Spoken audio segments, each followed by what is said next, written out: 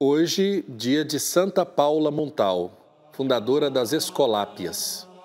Nascida e batizada em 11 de outubro de 1799, na vila de Arenys del Mar, perto de Barcelona, na Espanha, Paula Montal Fornés passou a infância e a juventude em sua cidade natal. Começou a trabalhar aos 10 anos, quando perdeu o pai, para ajudar a mãe a levar o sustento para a família. Nesse período, se tornou membro da Confraria do Rosário e da Congregação das Dores, desenvolvendo um profundo amor por Maria.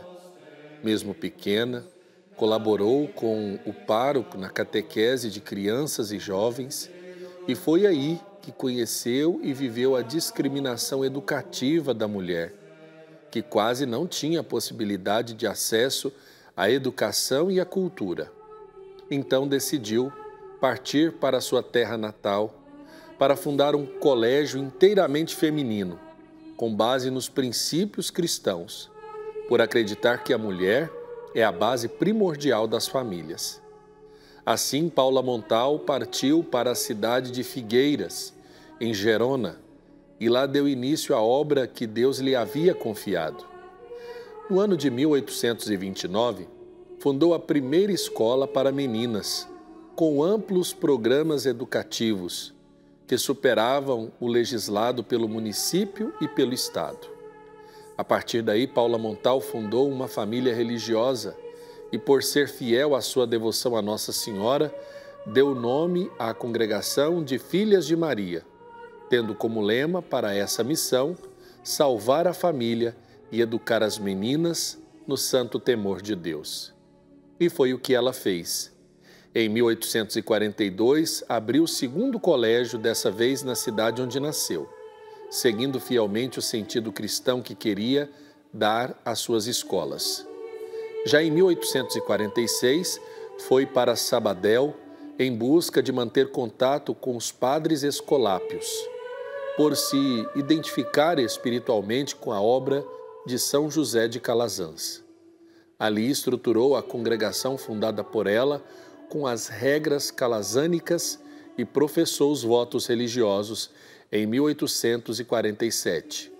A congregação foi crescendo com muita rapidez e mais escolas foram surgindo por toda a Espanha.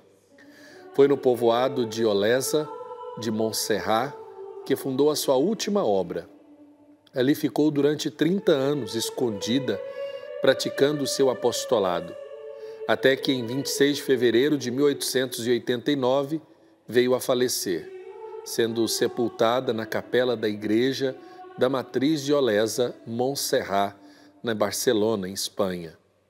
Paula Montal viveu com intensidade todos os problemas e alegrias da congregação e se entregou totalmente a Deus por meio das atividades educativas e da oração seu amor aos pobres e fidelidade ao cumprimento das constituições e regras da congregação ficaram como legados.